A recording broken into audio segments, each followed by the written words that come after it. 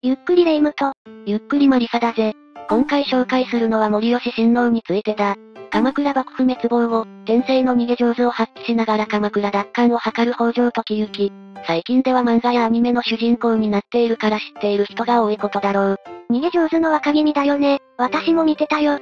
北条時行は幕府側の人間だったが、同時期に皇族にも逃げ上手な王子がいた。それが森吉親王なんだ。どんな逃げを見せてくれるのか楽しみね。それじゃ、森吉親王の生涯を、逃げ上手なエピソードを交えて紹介していくぜ。よろしく。それじゃあゆっくりしていってね。森吉親王が誕生したのは1308年。第96代五代五天皇と民部教の三味と呼ばれる女性を両親に持つぜ。お母さんの名前はわからないの？ああ。北畠氏や金の工事警視が母なんじゃないかという説はあるが、今のところ正体は不明だぜ。どちらにしても母方の地位が原因で、森吉親王は生まれながらにして皇位継承争いから脱落していたんじゃないかという説があるぞ。ってことは、昔の皇族にありがちな行為をめぐる戦いは今回はないわけね。まあ、そういうことだな。先に言っておくと、今回の敵は幕府だぜ。だったら、逃げ上手の若君がいる方ってことか。さっき話した理由から天皇に即位する予定がなかったのと、有力自社とのコネクションを強めたい父親の後醍醐天皇の意向もあったことから、森吉親王は6歳の時に仏門に入っているぞ。森吉親王が入った宮は、天台宗総本山比叡山延暦寺の別院、梶井門跡だ。天台宗三門跡の中で最も歴史が古く、3000院の別称を持つぞ。寺院の中でもすごいところに入ったってことはわかるわね。ちなみに、森吉親王は通称応答の宮とも呼ばれているんだが、その由来は、当時梶井門跡は京都の宝生寺にあり、そのお寺のシンボル的存在苦渋の塔から来ているぜ。お寺のシンボルが通称になるってことは、お寺の中で一番偉くなったりするのかな？宝生寺の中でではなく、比叡山延暦寺の中で最も位の高い天台座スに就任しているぞ。ぶっちゃけお父さんのコネなんじゃないかなって思うんだけど、実際それもあるだろうな。後醍醐天皇が有力寺院とのコネクション強化の目的は、比叡山の僧兵を味方にすることだったんだ。その目的を叶えるためには、息子をトップに置くのが一番だよな。何でもかんでもお父さんの思い通りに動くと思うなよな。僕は僕だ。急に反抗期に突入した霊夢は放っておいて、森吉親王は後醍醐天皇の意向によって、1327年20歳の時から1330年までの間、二度にわたって天台座スに就任しているぞ。ただそれは、天皇が親という最強のコネだけでなく、森吉親王が持つ優れた資質のおかげかもな。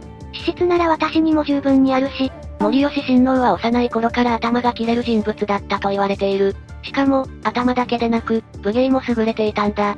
僧侶として熱心に活動する傍らで鍛錬を行い、免許改伝並みの腕前を持っていたとか。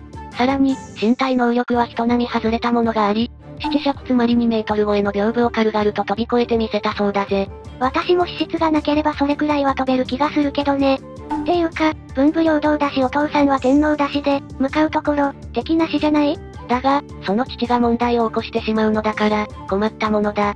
何問題って、鎌倉幕府を打倒する計画を立てた上に、その企みが相手にバレてしまうんだぜ。なんで天皇がそんな無茶なことを？天皇に権威を取り戻すことと、そして、皇位の統一をするのが目的だったようだぜ。当時、皇室は持明院党と大覚寺党という二つの系統に分裂していたんだ。持明院党は第88代後佐賀天皇の長男で第89代後深草天皇の系統。一方、大覚寺党は次男の第90代後深草天皇の系統だ。兄弟それぞれから続く系統ってことか。この二つの系統で交互に皇位継承を行う両党鉄立の状態に当時はあったんだ。後醍醐天皇はというと、大覚寺党から即位しているぞ。交互にってことなら平等だし、それでもいいんじゃない？だが、後醍醐天皇は政治に意欲を持っていたため、幕府ではなく自身で政治を行いたかった。皇位も自身の系統大覚寺党だけで継承していくべきと考えていたんだぜ。そこで、政治的権力だけでなく皇位継承についても裁量権を持つ幕府を倒そうと思ったわけだ。なるほど。でも、それって天皇だけの動機でしょ？他の人たちは幕府ないと困るんじゃない？それがだが、幕府は後醍醐天皇だけではなく、幕府に仕える御家人たちからも反発を受けていたぞ。あらら、なんでまた ?1274 年と1281年の2度にわたってモンゴルから襲撃を受けた原稿は知ってるよな？うん、ゴースト・オブ・ツシマ遊んだから知ってる。その戦いに勝利したものの、新たな領地を得られるはずがなく、多額の借金をしながら命を懸けて戦った御家人に十分な恩賞を与えられなかったんだ。それはみんな反発するよね。これに危機を感じた幕府は永人の特性例といって、借金を帳消しにして、担保にしていた領地を所有者に返させる法令を発令したんだ。御家人からしたらありがたい話だから、反発も弱くなったんじゃない？いや、逆にこの法令が御家人の首を絞めることになるんだ。なんでよ？リボ地獄から抜け出せたなら、万々歳でしょうよ。それがだな、彼らに金を貸していた今でいう金融業者に当たる土葬が、今後も貸した金が返ってこなく可能性があると考え、御家人に金を貸すのを渋り始めたんだぞ。あや、すると、せっかく借金が帳消しになった御家人の生活は前以上に苦しくなり、幕府への反感がより強まったぞ。良かれと思ってやったことが裏目に出ちゃったパターンね。それじゃ今度は貧しさから道を踏み外す人が多くなって、治安が悪くなりそう。まさにそうだぜ。ちょうどこの頃、機内を中心に各地で悪党と呼ばれる武士集団が現れ始めたんだぜ。彼らは領主や幕府に反抗し、年貢を奪ったりしたんだ。そして、取り締まるはずの幕府が対処することができなかった。ちょっと、ちゃんと仕事しなさいよ。お偉いさんは何してんの？そんな状況なのに、幕府の14代執権北条高時は側近に政治を任せ、道楽に溺れる日々を送っていたぜ。それじゃ、ますます反感を買うじゃないの。ああ。何もできない幕府への信頼度は低下する一方だったぜ。そこに目をつけたのが後醍醐天皇だ。御家人や民衆の不満が爆発しそうなこの時を狙って、腹心と共に倒幕を企てたんだが、バレちゃったって言ってたっけ？そうなんだ。後醍醐天皇が狙ったのは、京都に設置された幕府の守護機関六原短大だ。これを襲撃するため、反幕の武士を募ったものの、計画の段階で幕府に密告され実行されずに終わったぞ。要はクーデターを起こそうとしたんでしょ？天皇はクーデターの罪に問えるものなの？もちろんだ。だが、この1324年に起きた後醍醐天皇による倒幕未遂事件小中の変は、無罪判決に終わり、罪に問われなかったぜ。まあ、明らかに後醍醐天皇が首謀者なのに、幕府側が天皇のことを構えるのが面倒で、無罪にしたって説が有力だけどな。有罪にしたらしたで、幕府に反発する人がもっと増えそうだから、及び腰になるのはわかるわ。とにかく森吉親王としても、お父さんが罪に問われたら自分にも影響ありそうだし、無事に終わってよかった。それもそうだが、次はそうもいかなかったんだぜ。何次って？懲りずにまた計画しちゃうってこと？その通りだ。小中の変から7年後の1331年、後醍醐天皇は再び鎌倉幕府を打倒する計画を立てたんだ。この2回目の倒幕計画事件を現行の乱と呼ぶぞ。まさかだけど、これまた幕府にバレちゃったりする？そのまさかのまさかだ。天皇の側近が作ったおかげで、計画が幕府に知られてしまったんだぞ。よりによって側近があって、もう少し口の硬い人を周りに置くべきだったわね。まさにその通りだよな。幕府は後醍醐天皇が呪詛を用いて幕府に災いをもたらそうとしていることを察知していたんだ。そこで、自社の僧侶を取り調べしたのだが、気の弱い僧侶が取り調べを受ける前にビビって、あることないことを喋ってしまったんだぜ。私だったらどんな取り調べでも耐えてみせるのに、まだまだ修行が足りないわね。ちなみに、どんな取り調べがされる予定だったの？水攻めや、火攻めだ。ごめんなさい、何でも喋りますから。そのおかげで、森吉親王は取り調べした上で死罪に、そして、後醍醐天皇も取り調べ後に配慮されることが決定したんだぜ。森吉親王も？で、今回は天皇に対しても、厳正な処分を下そうとしたわけね。お父さんは抵抗せず、お縄を頂戴されるのかしら？いや、森吉親王に助けられて逃げたぜ。この時、御所から逃げ出すために、後醍醐天皇は女装したとされているぞ。まさか天皇が女装して逃げるなんて、捕まえようとした人たちも思わなかったんでしょうね。脱出後、東大寺に潜伏しようと考えたが、すでに東大寺は六原短大の者たちが入っていたんだ。ならばと、森吉親王は父後醍醐天皇の替え玉を比叡山延暦寺へ送り、本物は笠木山へ密かに登らせた。これで後醍醐天皇の挙兵する時間を稼げるはずだ。替え玉とかやるじゃない、さすが逃げ上手だけあるわね。もちろん、その延暦寺の人たちも、天皇本人だって疑わなかったんでしょ？じゃなきゃ、すぐにバレちゃうもんね。すぐにはバレなかったが、いずれバレてしまったぞ。当初は延暦寺の人々も、天皇を守るためならと、士気高く六原短大の兵を撃退していたんだ。幕府の軍も、本気で守ろうとしているから、替え玉だとは思わなかったんだろう。ところが、偽物だとバレてしまうと、比叡山の人々の士気は一気に低下。離反する人も現れ始めたんだ。自分らがおとりに使われたって知っちゃったんでしょ？そりゃやる気なくすよ。偽物だって分かっても、幕府を倒すための作戦だって、同じ意識を持っていれば話は別だけど。そう、そこなんだ。比叡山の僧侶にかけていたのは意識だと、森吉親王はこの件で悟った。そこで今後は、鎌倉幕府が敵であり、倒すべき対象だということが記された用事を、何度か発しているんだぜ。うん、そういうのって大事かもね。さて、密かに笠木山に入った後醍醐天皇は、幕府を倒すために挙兵。森吉親王もそこに合流したぞ。これにこうして、河内の国の悪党楠木正成も挙兵した。楠木正成は中心と呼ばれるほど、ずっと後醍醐天皇に従い一緒に戦ってくれる、心強い仲間だぜ。悪党って聞いて心配になったけど、だったら安心だ。一緒に幕府を倒そう。そうこうしている間に、比叡山で替え玉がバレてしまったように、笠木山に天皇がいることが幕府にバレてしまったぞ。もしかしてまた誰かが作ったのかしら？かどうかはわからないが、笠木山は幕府の兵に囲まれてしまったぞ。この時、幕府軍を指揮していたのは、幕府から要請を受けて大将を務めていた足利尊氏だ。なんか大物が来たわね。どうしよう。残念ながらどうしようもなかった。大軍に囲まれ、天皇のために作られた暗宮には火が放たれた。笠木山は陥落し、後醍醐天皇は捕らえられてしまったぞ。え、それじゃ森吉親王も捕まったら死罪じゃなかったっけ？その点は大丈夫だ。森吉親王は合流後しばらくして、楠木正成の館に移動していたから無事だったぜ。よかったまだまだ尺が余ってるのに、ここで終わりかと思ったわら。まだ逃げ上手なエピソードを披露してないのに、終われるわけないだろ。さっきのお父さんを女装させて逃したり、替え玉を比叡山に送った話がそうじゃなかったの？そうじゃなくて、とっておきのエピソードがあるんだぜ。後醍醐天皇は囚われた後、平等院に幽閉され、沖ノ島に配流されてしまったが、森吉親王も捕まるわけにはいかない。そこで、場所を移動しながら領事を発して、倒幕に賛同してくれる仲間を募っていたぞ。領事はさっきの比叡山の失敗を繰り返さないためだね。その通りだ。仲間を募ることも大事だが、とにかく捕まるわけにはいかない。そこで森吉親王は家臣たちと奈良県にある般若寺に潜伏することにしたぜ。般若寺は名前が怖いから誰も近寄らないからだね。というのも、お寺や市場があるような場所は村落から外れていて人の目が届きづらい。しかも、山伏や商人など人の移動が活発なため人間関係が薄いんだ。そんな場所に隠れている限りは、森吉親王だとバレることなく、安心して潜伏できるからだと考えられているぞ。なるほど、そっちね。まあ、それでも見つかってしまうんだけどな。は？しかも、気づけば500ほどの兵に囲まれていて、完全に逃げ場を失ってしまったんだぜ。替え玉を、私にも替え玉を。もはやこれまでかと諦め、自害も考えた森吉親王だったが、ここで逃げ上手を発揮して、見事危機を脱するんだ。どうやって？だって500人に囲まれてたら、無理ゲーじゃない？追い詰められた森吉親王は仏殿に逃げ込んだぜ。そこには経典が入った大きな箱が3つ置いてあった。とっさに森吉親王がその箱の一つに飛び込んだ瞬間、追っ手が仏殿に入ってきたぞ。箱を開けられたら見つかっちゃうけど、どうするんだろ。兵が一つ箱を開けると、そこには経典が入っていた。そして、もう一つ開けると、やはりそこにも経典が入っているだけだ。残り一つ開けられたら終わる。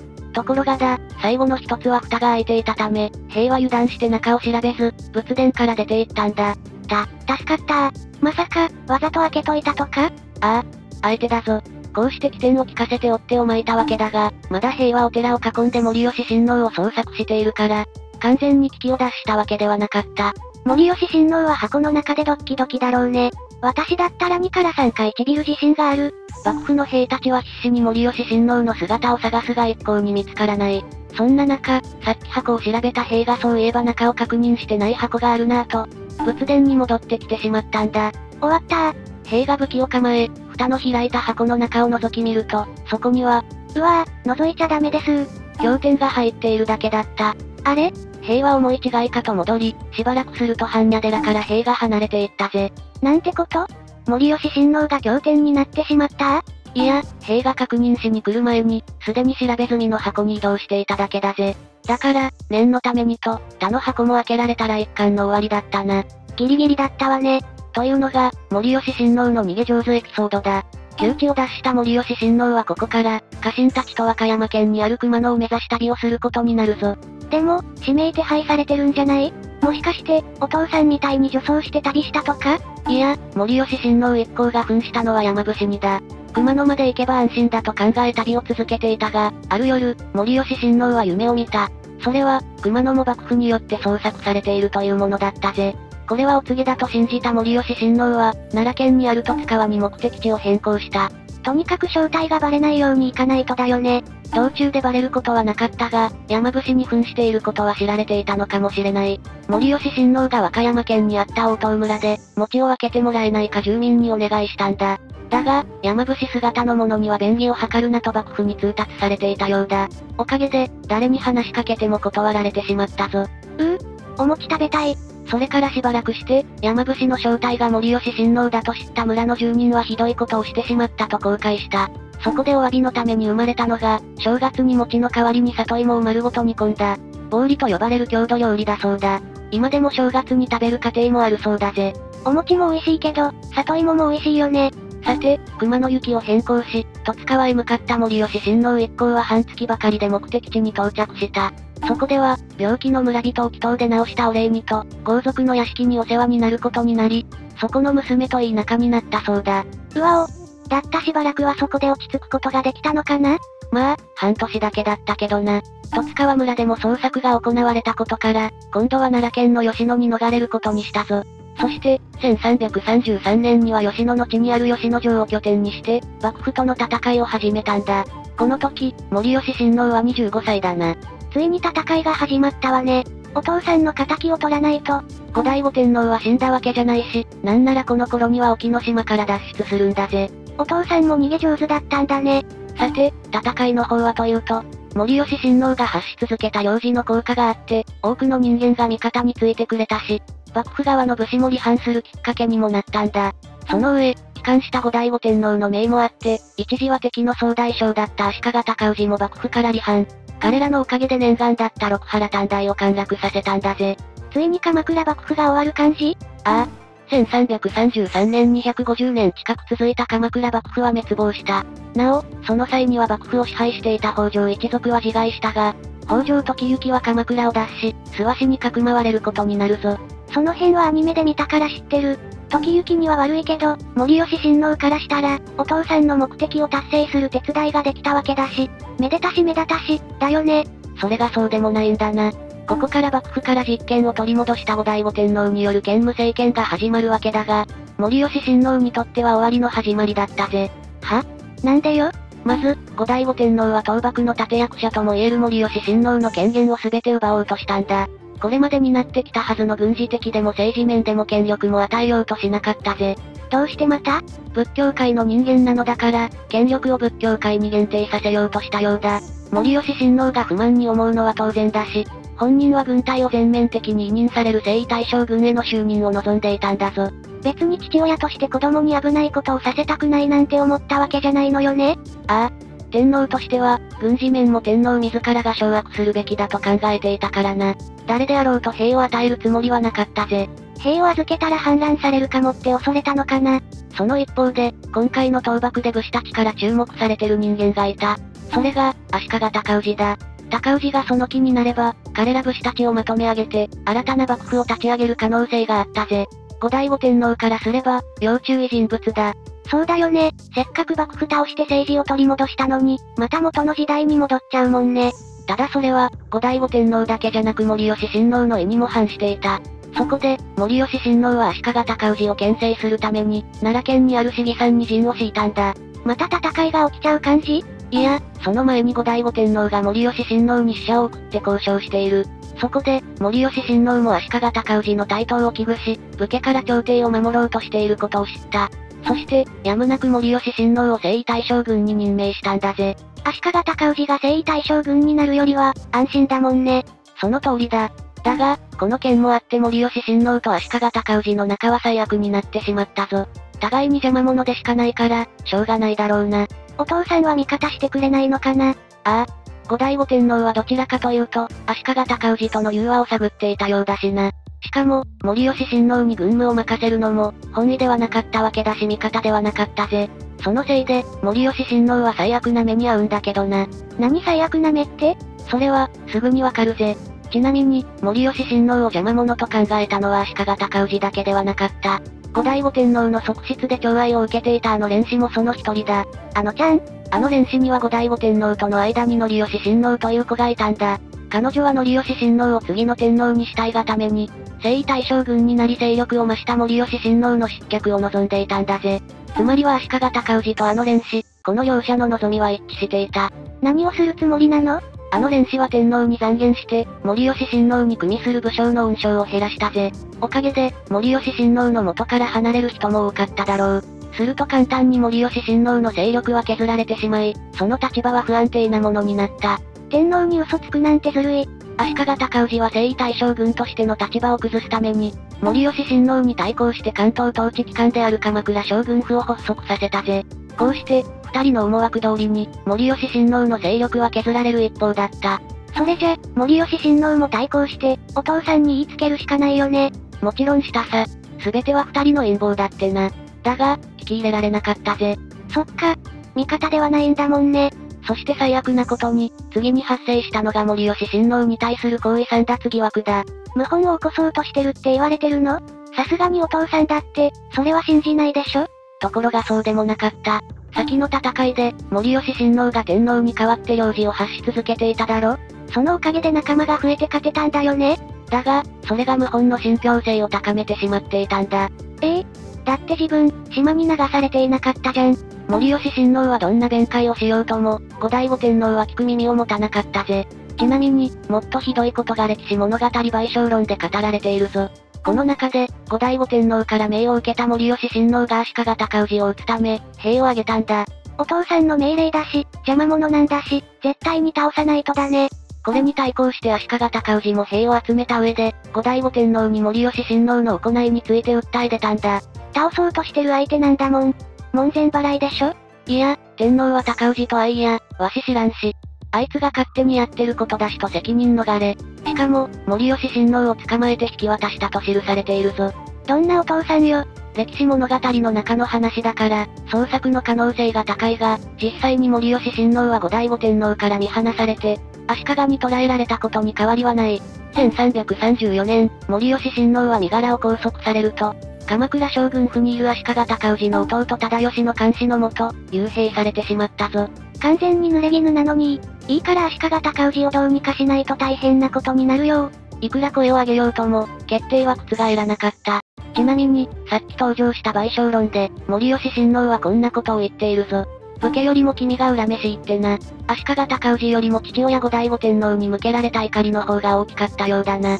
幕府を倒すために頑張ったのに、こんな仕打ちを受けるんだもん。当然よ。こうして森吉親王が幽閉されている間、外では反乱が起きていた。1335年、信濃で鎌倉幕府14代執権北条高時の後方汁北条軍が挙兵したんだ。その子こそ、幕府滅亡とともに鎌倉から逃亡した逃げ上手の若君北条時行だぞ。本家登場。この中仙台の乱と呼ばれる戦いで、北条軍は鎌倉を陥落しているぞ。ってことは、そこに森吉親王もいたんじゃ。もしかして助けてくれる？でも、敵だったから無理なのかな？それが陥落当時に鎌倉にいなかった。というより、すでにこの世にいなかったぞ。え？鎌倉陥落の2日前、森吉親王は足利忠義の命により殺害されてしまったんだ。軍記物語太平記では、殺される直前、喉元に迫る刃物を歯で噛み折ったと記されているぞ。さすがにそんなことはないと思うが、武芸に長けた森吉親王だ。最後まで抵抗しただろうぜ。っていうか、なんで殺されちゃったの？たまたま鎌倉が落ちる前に、処刑されただけなの？いや、万が一、北条軍を率いる時行によって森吉親王が擁立されたら、鎌倉幕府が復活してしまう恐れがあった。勢いに乗った北条軍は、鎌倉まで迫っていたからな。その前に消してしまおうと考えたようだぜ。そうなんだ。鎌倉幕府を倒したくらいまで絶好調だったのに、そこからは悲しい末路をたどるだけだったね。こうして森吉親王の人生に幕が降りたわけだが、歴史は続く。森吉親王が危惧した通り、足利尊氏の勢力は増加。対立する後醍醐天皇を天皇の座から引きずり下ろすと、武家政権である室町幕府を開いたんだ。そして、後醍醐天皇は独自に朝廷を開き、足利尊氏が擁立した光明天皇の朝廷と、二つの朝廷が存在し対立する南北朝時代へと突入するんだぜ。予想通りになったんだね。本当の逃げ上手だったら、殺される前に鎌倉から逃げ出せたかもしれないのに、残念だったわ。ただ、実は殺されていなくて宮城県に逃げ延びたって伝承が残っているんだ。これが真実だとしたら、本当の逃げ上手だって言えるかもな。ということで今回の解説はここまでだぜ。次回もぜひ見てくれよな。チャンネル登録高評価もよろしくね。ご視聴ありがとうございました。